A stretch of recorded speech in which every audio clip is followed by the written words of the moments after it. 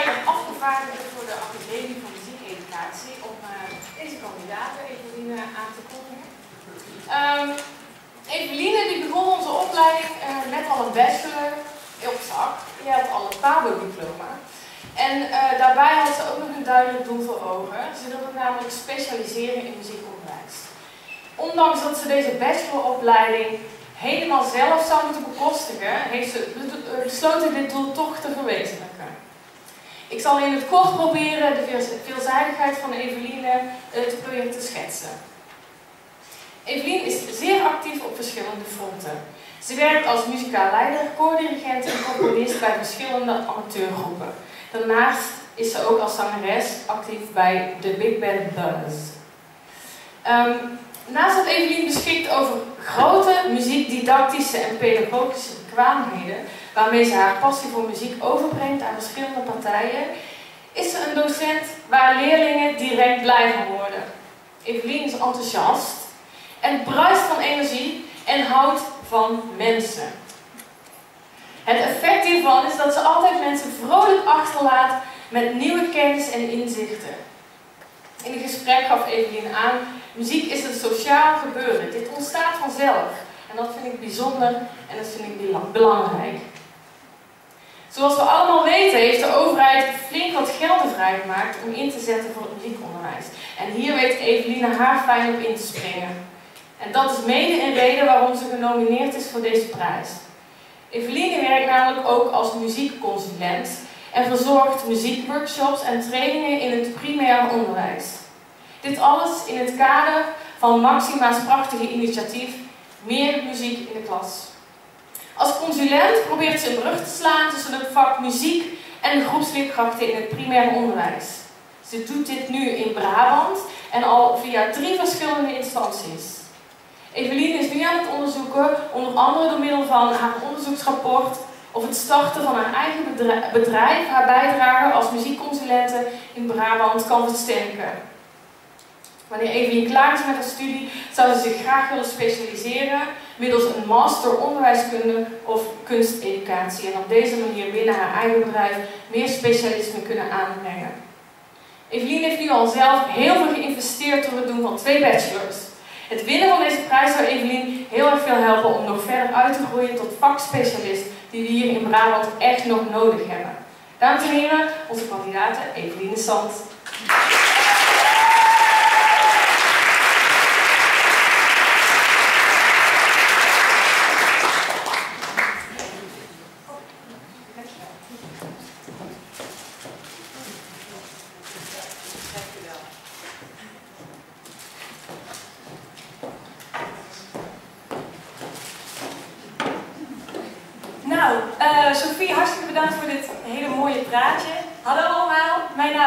Sant. dat is net gezegd. Dat zie je hierachter. Oh, nog niet.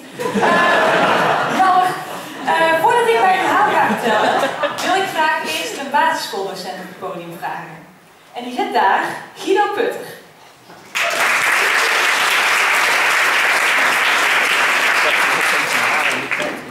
Ja, ik sta even op voor klas van 23. Ik heb nog niet geteld. Dit zijn er wel wat meer. Um, Evelien heeft mij iets voorgedaan de bedoeling is dat ik dat niet met jullie doe. Weer terug te kloppen met die 23 ging het aardig goed. Dus we gaan eens kijken. Ik uh, chop jullie even in vier vakken. Drie. En daar is nummer vier. Nee,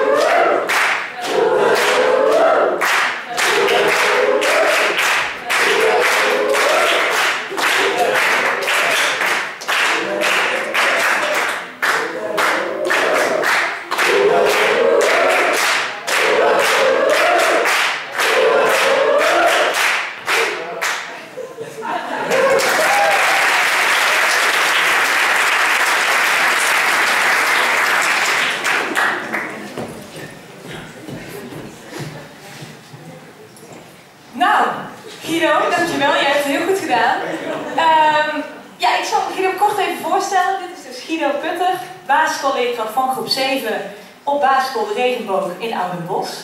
En de opdracht die hij net uh, met jullie heeft gedaan, die heb ik voor hem ontworpen. En die hebben wij dus samen ingestudeerd.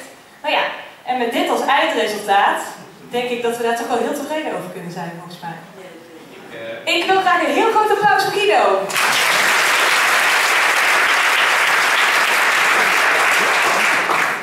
Guido heeft geen muzikale opleiding gedaan, maar de PABO. En dat is een opleiding waar je wordt opgeleid tot een generalist. Dat betekent dat je van alle vakken iets moet weten. Daardoor zit het curriculum heel erg vol. En is er dus weinig tijd voor muziekeducatie en de andere kunstvakken. Als die basisschoolleerkrachten dan zijn afgestudeerd, dan zie je vaak dat ze het zelfvertrouwen missen om muziekonderwijs te geven. Maar ik ben van overtuigd, en ik hoop, jullie na het zien van dit voorbeeld ook, dat dat niet hoeft te betekenen dat ze dat dus niet kunnen. Met de juiste tools, de juiste coaching, weet ik zeker dat alle muziekdocenten in het onderwijs, alle basisschoolleerkrachten in het onderwijs, in staat zijn met heel veel plezier en met zelfvertrouwen muziekonderwijs te geven. Momenteel is er heel veel gaande in muziekland. Sophie net al zei, allerlei initiatieven, zeker ook vanuit de overheid. En die samenwerking van vakspecialist en groepsleerkracht blijkt ook te leiden tot de beste resultaten muziekonderwijs in het primair onderwijs. Momenteel zijn er ook al scholen in Amsterdam die dat doen. Heel veel projecten die zijn daar gaande, worden dus vakdocenten ingezet die op de school gaan. Andersom, uitwisseling tussen pabo's en consultoria. Maar in Brabant gebeurt dat eigenlijk nog helemaal niet. Tenminste, heel weinig. En ik wil degene zijn die dat in Brabant gaat verstevigen en weg gaat zetten. Momenteel doe ik dat al een beetje. Zoals Sofie net vertelde, ik ben actief op een school in Sint-Goederode. En ik ben actief op scholen in Etteleur. En omdat ik zelf een paar heb gedaan, merk ik dat de communicatie met die docenten heel makkelijk gaat. Ik weet wat ze moeten doen, ik weet wat ze allemaal op programma hebben staan en dat werkt gewoon ontzettend fijn. Nou ja, als ik dan terugdenk hoe ik zelf ooit geïnspireerd ben geraakt door muziek, dan is er eigenlijk ook maar één leerkracht bij mij, een basisschoolleerkracht, die omhoog ploept. En dat is meneer Gerard. En meneer Gerard was mijn uh, leerkracht van groep 3. En uh, ja, die, die, had een klein orgeltje in de klas. En elke keer als dat orgeltje aanging, dan was het feest. Dan gingen we liedjes zingen, gingen we spelen. En dat was niet één keer in de week, maar dat was eigenlijk dagelijks. Dat kwam zo tussen de rekenles door en tussen de talens. Maar dat was niet het enige. Meneer Gerard had ook een koortje. En dat koortje dat was voor iedereen toegankelijk. Of je nou bij ons op school zat, of een andere school zat, iedereen mocht daar komen. En zo ervaarde ik hoe leuk het was om samen te zingen met allerlei mensen, kinderen, die ik eigenlijk helemaal niet kende. En op die manier verspreidde meneer Gerard muziek in onze reisbewijze samenleving. Zelf probeer ik op een soortgelijke manier ook de muziek te verspreiden in onze samenleving. Want buiten mijn alle binnenschoolse activiteiten ben ik ook heel erg actief in het buitenschoolse gebied. Ik vind die combinatie heel erg belangrijk, omdat je juist dan en in school en buitenschool de muziek zo breed mogelijk kan verankeren in de maatschappij. Dat doe ik door laagdrempelige projecten op te zetten of eraan mee te werken en zo ervoor te zorgen dat iedereen in aanraking kan komen met muziek. En dat is eigenlijk mijn ideaalbeeld. Muziekdocent die midden in de, in de samenleving staat, constructief samenwerkt met verschillende partijen en zo muziek toegankelijk maakt voor een zo breed mogelijk publiek. Dankjewel.